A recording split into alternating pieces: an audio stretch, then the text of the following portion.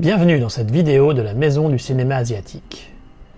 Aux côtés des samouraïs et des ninjas, les yakuza font partie du folklore populaire incontournable quand on évoque le Japon. Décrits aussi bien comme de véritables robins des bois prêts à sortir leur katana pour défendre la veuve et l'orphelin, que comme des gangsters violents et sadiques prêts à tout pour l'argent dans leurs élégants costumes noirs, le spectre est large quant à l'image que les yakuza véhiculent. Le cinéma a grandement contribué à enrichir ces différentes orientations contradictoires avec plusieurs centaines de titres produits autour des organisations criminelles issues de l'archipel. Dans cette vidéo, nous allons regarder de plus près l'évolution du traitement des yakuza dans le cinéma japonais sur plus de 70 ans et tâcher de comprendre ce qui a motivé ces changements.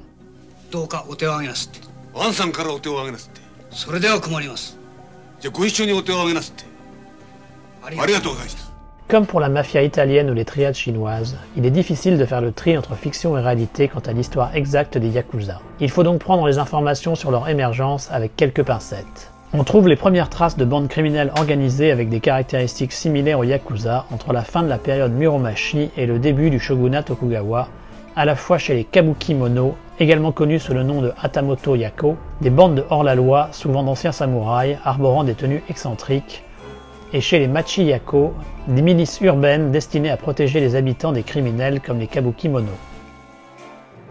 Ces deux types de bandes organisées disparurent à la fin du XVIIe siècle avec la complète mise au pas du pays sous la domination de l'administration des Tokugawa. Mais leur souvenir fut popularisé par la culture de masse, de la littérature au spectacle de rue, qui en firent des héros populaires. Leur héritage partiel fut repris par deux factions différentes durant le XVIIIe siècle.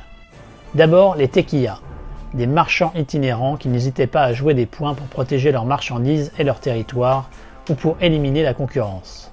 Afin de renforcer leur capacité, les tequillas se réunirent en groupe et adoptèrent une structure hiérarchique avec un oyabun à leur tête.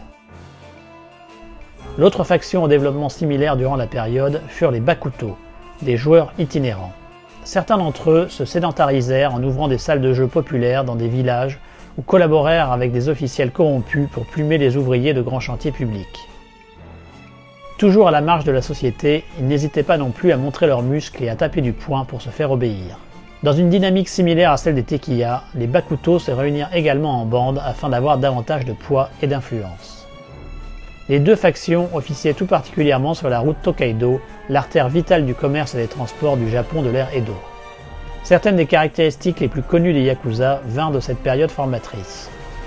Le nom de Yakuza est ainsi issu du monde des Bakuto et correspond à une combinaison perdante au jeu de cartes Anafuda. De même, la pratique du coupage de la phalange, ou Yubitsume, comme punition vient de l'univers des joueurs itinérants. Enfin, le développement des tatouages est aussi issu des Bakuto. Le shogunat utilisant le tatouage comme une forme de punition, destinée à marquer les criminels et ainsi les ostraciser encore davantage mais les joueurs transformèrent les marquages en un signe de fierté et de reconnaissance, les rendant encore plus complexes et flamboyants. Les bouleversements que connut le Japon au XIXe siècle, avec la fin du shogunat des Tokugawa au profit de la restauration Meiji, fut une période d'opportunité pour les Bakuto et les Tekiya. Leur expertise dans l'utilisation de la violence fut mise à profit pendant la période de guerre civile et continua à trouver régulièrement des employeurs dans le cadre des luttes politiques souvent musclées qui marquèrent les premières décennies de la jeune démocratie japonaise. Et s'ils durent réduire leurs activités traditionnelles comme le jeu pour les Bakuto suite à une loi adoptée en 1884, ils eurent l'occasion d'investir d'autres secteurs d'activité dans le cadre général de la transformation économique du pays, comme le contrôle des dockers, la construction ou les activités de transport. Le développement économique du pays, les connexions avec des personnalités politiques influentes, surtout du côté de l'extrême droite, permirent aux Yakuza de prospérer et d'officialiser leur existence. En 1919 fut ainsi formée la Dai Nippon Kokusui Kai, ou Société de l'essence nationale du Grand Japon, organisation essentiellement criminelle destinée à combattre l'influence grandissante des formations de gauche par la force si besoin, le tout avec la bénédiction des élites politiques conservatrices. Certains chefs de gang furent même élus au Parlement, comme Yoshida Itsukichi et Ora Senosuke. Nombre de Yakuza embrassèrent également le projet impérialiste et étendirent leur influence à Taïwan, en Corée ou en Mandchourie. Dans le même temps, grâce à des auteurs influents comme l'écrivain Shin Asegawa, l'image des Yakuza demeura positive.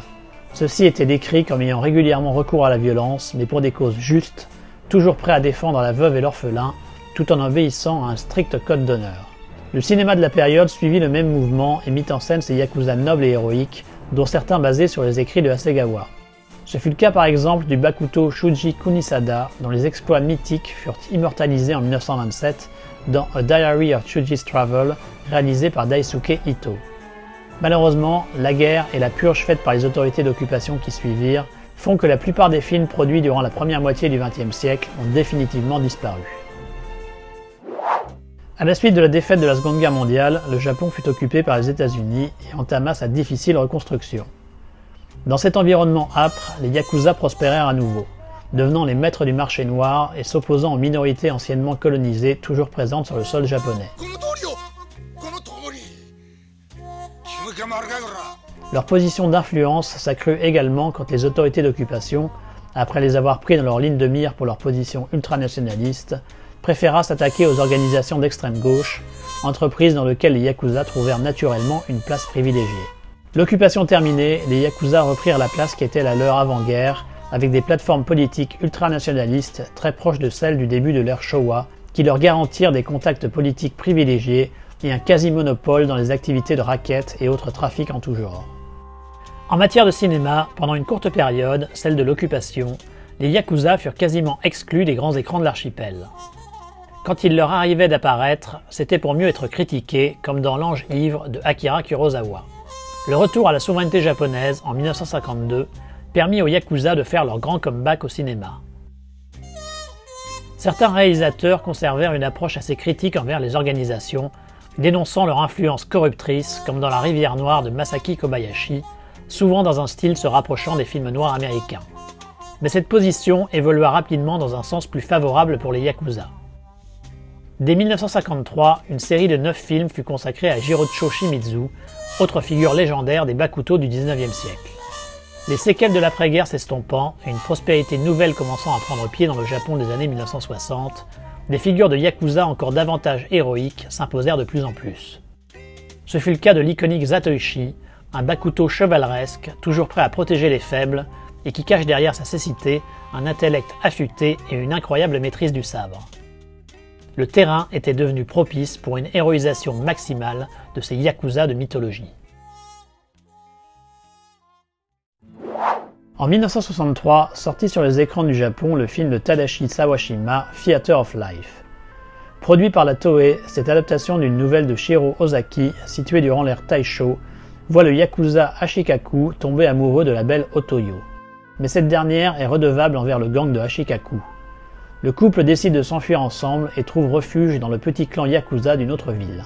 Quand ceux-ci sont attaqués par un autre gang, Ashikaku n'écoute que son devoir et les assiste dans leur combat. Il est envoyé en prison pour sa peine et Otoyo se retrouve laissé pour compte.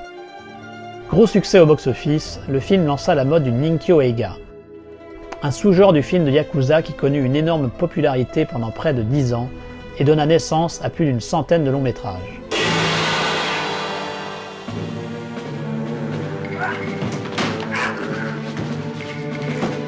Généralement situé durant l'ère Meiji ou Taisho, le Ninkyo Eiga décrit les yakuza héroïques en proie à un conflit moral opposant le giri, le sens du devoir envers le code du yakuza, et le ninjo, les désirs et ambitions personnelles de l'individu. Ce dilemme est quasi systématiquement résolu à l'avantage du premier dans un dénouement sanglant.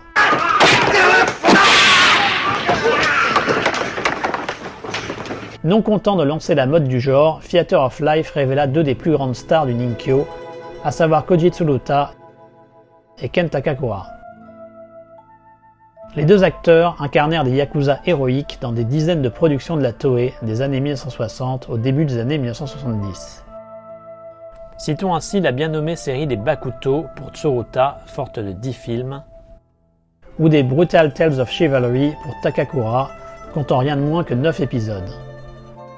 Ces deux acteurs personnifièrent et continuent à personnifier encore aujourd'hui l'esprit du Ninkyo pour le public japonais, y compris pour les Yakuza eux-mêmes.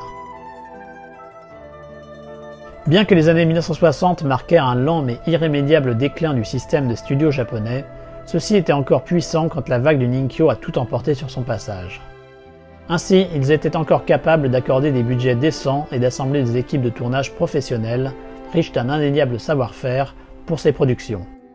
Si bien que la majeure partie des films du genre purent s'enorgueillir d'une technique impeccable, que ce soit en matière de photographie, de reconstitution ou de casting. Si on ajoute à cela des durées généralement réduites, il ne fait aucun doute que les Ninkyo Eiga furent des films de qualité hautement divertissants. Ils souffraient néanmoins de deux défauts majeurs. Le premier, c'était leur répétitivité. Bien que quelques originalités furent introduites d'une production à une autre, la trame narrative restait quasi systématiquement la même. Le héros respectueux des valeurs idéalisées des gangsters se retrouvait à devoir aider un clan d'honorables yakuza en difficulté contre une autre organisation sans scrupules. Notre chevalier des temps modernes tentait de régler le différend selon des codes des yakuza, mais la fourberie de ses adversaires le conduisait invariablement à une expédition punitive finale où il anéantissait à lui seul tous les gredins. Durant le cours du métrage, le héros rencontrait ou retrouvait l'amour, un amour qu'il ne pouvait assumer, et croisait le chemin d'un alter ego chevaleresque travaillant pour le mauvais côté ou cherchant à assouvir une vengeance issue du passé. L'autre souci du Ninkyo, c'était son message idéologique. La vision qui était donnée des Yakuza était foncièrement positive.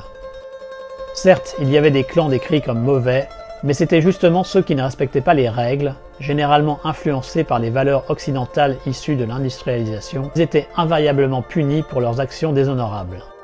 En outre, l'opposition entre deux semi-sociétés dans des secteurs d'activité souvent industriels, tout en étant partiellement conforme à la réalité de la modernisation liée à l'ère Meiji, faisait surtout écho aux luttes sociales intenses que connaissait le Japon dans les années 1960. Dans ces affrontements opposant une partie des ouvriers et étudiants nippons, les Yakuza avaient clairement pris le parti du patronat et des élites conservatrices, jouant régulièrement le rôle de briseurs de grève. On retrouvait un peu de cette idéologie ultra-conservatrice dans les Ninkyo Eiga, avec l'éloge des patrons paternalistes à l'ancienne et d'une société à la hiérarchie rigide. Que ces films aient été aussi positifs envers les gangsters n'était pas vraiment étonnant, étant donné les liens étroits que certains exécutifs des studios entretenaient avec de puissants Oyabun. Ainsi, Koji Shundo, le grand Manitou des films de Yakuza à la Toei, aurait selon les rumeurs lui-même été un Yakuza. D'autres membres des studios et personnalités du show business apparurent également régulièrement dans des événements organisés par les Yakuza. Pour se faire une idée du Ninkyo Eiga, outre les films déjà évoqués, vous pouvez également voir la vie d'un tatoué de Seijun Suzuki, avec sa facette romantique exacerbée et son final expressionniste.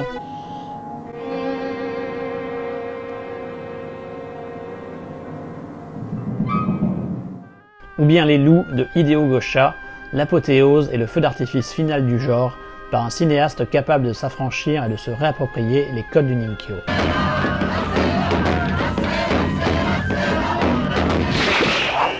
Exploité jusqu'à plus soif par les différents studios pendant près de 10 ans, le Ninkyo Eiga finit logiquement par perdre les faveurs du public japonais au début des années 1970.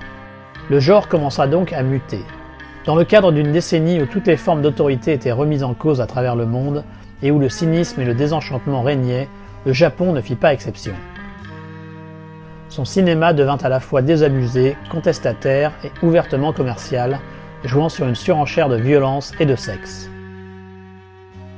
Le film de Yakuza fut également influencé par cet état d'esprit et muta du Ninkyo Eiga au Jitsurogu. Contrairement à son alter ego des années 1960, le Jitsurogu tend à se passer dans le Japon contemporain ou dans un passé très proche, généralement après la Seconde Guerre mondiale. Il se base très souvent sur des faits réels et est plus réaliste, plus cynique diront certains, aussi bien dans sa description du monde des Yakuza que dans sa mise en scène, privilégiant souvent la caméra à l'épaule. Le porte-étendard de ce mouvement et son meilleur représentant, ce fut le cinéaste Kinji Fukasaku. Fukasaku avait déjà commencé à subvertir le monde du polar nippon et à l'amener dans la direction du Jitsologu avec des œuvres comme Homme, Porc et Loup en 1964 ou dans ses films tendance Ninkyo comme Le Kaïd de Yokohama ou Gambler's Ceremony of Disbanding. Il posa les premières bases solides de ce sous-genre dès 1971 avec Guerre des gangs à Okinawa dans lequel un clan de Yakuza décide de se relocaliser à Okinawa après avoir été supplanté par un gang rival dans leur base de Yokohama. Mais c'est avec la série des combats sans code d'honneur qu'il réalisa entre 1973 et 1974 qu'il supplanta définitivement le Ninkyo. Basée sur une véritable guerre des gangs centrée autour de l'Oyabun Kozo Mino, qui eut lieu dans la préfecture d'Hiroshima, la série qui s'étale sur près de trois décennies du Japon d'après-guerre est la référence absolue en matière de Jitsurogu. À la fois cynique dans son traitement des Yakuza et de leurs valeurs, pertinent dans sa description des rapports des syndicats du crime avec la politique et la police, hargneux dans ses règlements de compte violents et désabusé quant à la nature humaine, Kinji Fukasaku signait là une œuvre majeure et incontournable de l'univers du film de Yakuza. La série était également dominée par la présence charismatique de Bunta Sugawara dans le rôle de Hirono, un Yakuza nettement plus ambigu et agressif que ne l'avaient été ceux interprétés par Takakura et Tsuruta avant lui.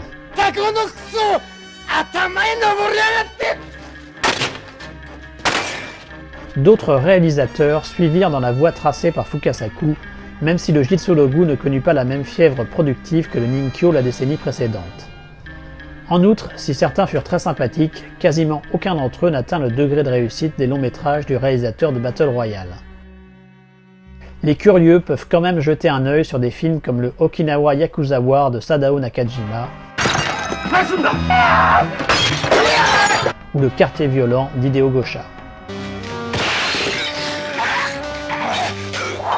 La fin des années 1970, début des années 1980 marqua une nouvelle période de transition pour le petit monde du film de Yakuza. A son tour, le Jitsurogu s'essouffla et les producteurs tentèrent de combattre la tendance en multipliant les noms prestigieux sur les affiches. Mais le résultat fut souvent laborieux et verbeux, à l'image de la trilogie du parrain japonais de Sadao Nakajima, avec Toshiro Mifune et Bunta Sugawara au générique. Dans le même temps, le public de cinéma japonais évolua. Alors que dans les années 1970, c'était avant tout un public masculin et jeune qui occupait les salles obscures, les femmes devinrent le public majoritaire des cinémas de l'archipel. Prenant conscience de ce phénomène, producteurs et cinéastes ajustèrent leurs histoires en conséquence. Ils mirent davantage l'accent sur les histoires d'amour et les relations entre les personnages, plutôt que la violence et le machisme habituel du genre.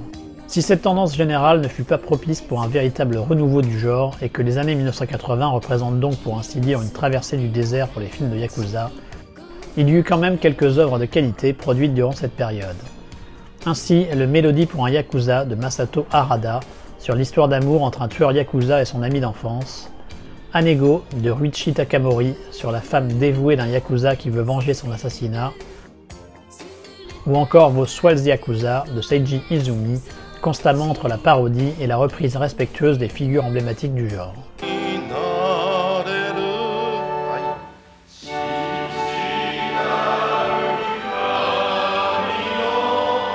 Mais le réalisateur qui sut le mieux tirer son épingle du jeu de cette période, ce fut Hideo Gosha. Celui qui avait signé un des plus beaux Ninkyo et un Jitsurogu inégal mais intéressant, trouva dans cette féminisation du genre l'occasion de donner le meilleur de lui-même. Il signa ainsi un fascinant dans l'ombre du loup sur un puissant Oyabun dans l'air Taisho, vu à travers les yeux de sa fille adoptive. Mais surtout, il lança une des rares séries de la période, celle des Yakuza Wives ou femmes de Yakuza, sur les épouses et autres petites amies des membres du crime organisé japonais. Forte de 16 épisodes, le premier d'entre eux, le seul réalisé par Gosha, vaut surtout pour la prestation impériale de Shima Iwashita véritable dame de fer des Yakuza.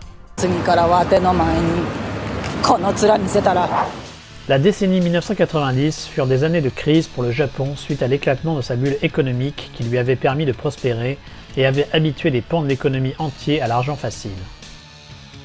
Ce rétrogradage brutal de l'économie japonaise affecta logiquement et directement les Yakuza.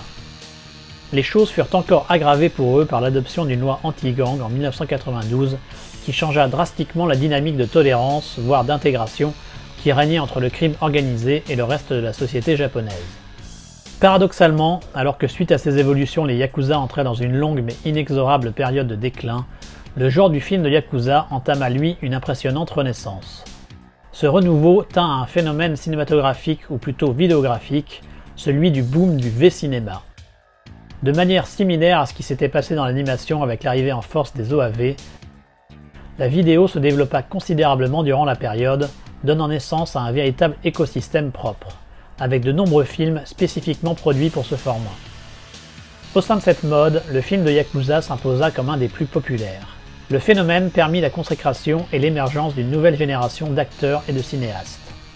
Pour les acteurs, on citera les indispensables Riki Takeuchi ou Sho Aikawa. Du côté des metteurs en scène, ce fut le cas de Masato Harada avec la série des Tuf, Kyoshi Kurosawa avec la série des Suit Yourself or Shoot Yourself sur les aventures comiques de deux petits yakuza, et surtout de Takeshi Miike qui œuvra abondamment dans le genre, signant aussi bien des films se rapprochant du Hitsulogu comme Deadly Outlaw Rika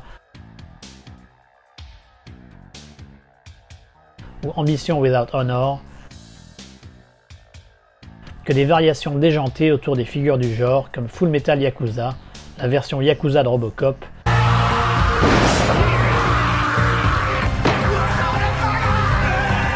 ou Ishi the Killer, festival de gore barré. Ce succès en vidéo impacta le cinéma et les Yakuza réapparurent en force dans les salles obscures nippones. Mais ce furent surtout des réalisateurs installés qui s'attaquèrent au genre pour y apporter leur regard propre, souvent bien différent de ce qu'avaient fait leurs aînés les décennies précédentes. Ce fut le cas de Juzo Itami, surtout connu internationalement pour son Tampopo, avec Mimbo ou l'art subtil de l'extorsion, une approche comique du sujet dans lequel un hôtel tente de résister aux méthodes d'intimidation des Yakuza.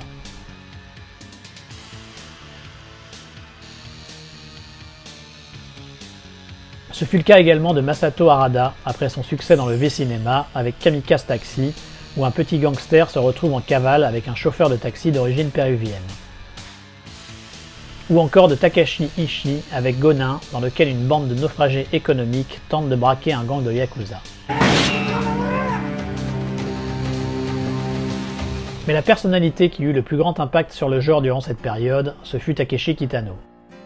Connu avant tout comme un comique de télévision, Kitano passa à la réalisation en 1989 avec Violent Cop, un projet originellement destiné à Kinji Fukasaku, dans lequel un policier vengeur ne recule devant aucune méthode pour combattre les criminels. Les Yakuza devinrent immédiatement un élément incontournable de son cinéma, que ce soit avec Sonatine, où un groupe d'entre eux décompresse à la plage, à sa trilogie des Outrages, revenant aux bonnes vieilles trahisons et luttes de pouvoir entre gangsters au Jisologu, en passant par Kids Return sur le destin de deux petits délinquants dont l'un va intégrer les Yakuza. Ces films mélangent violence exacerbée et touches comiques et poétiques pour un résultat toujours étonnant.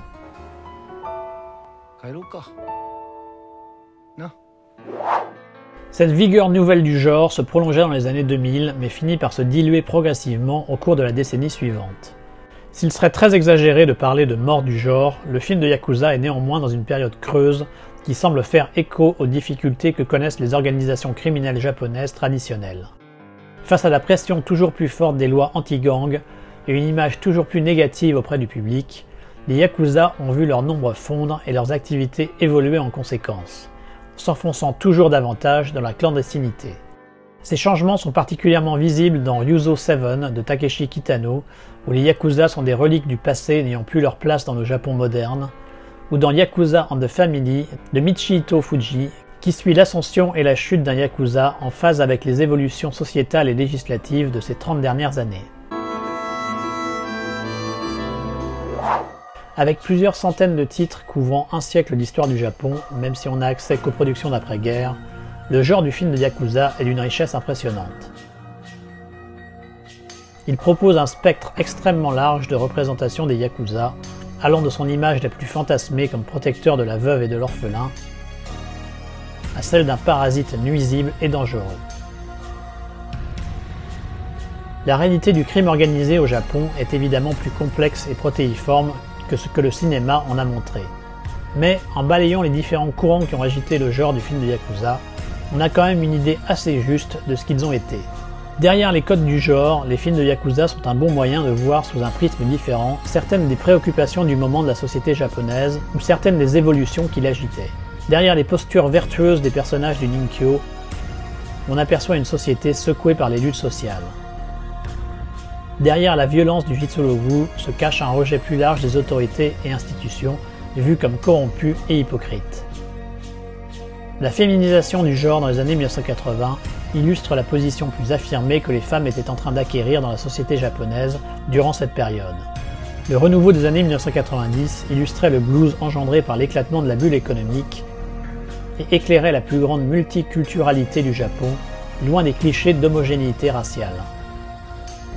Si le cinéma nippon a grandement contribué à solidifier une image mythique des Yakuza dans l'archipel, son impact a dépassé les frontières du Japon.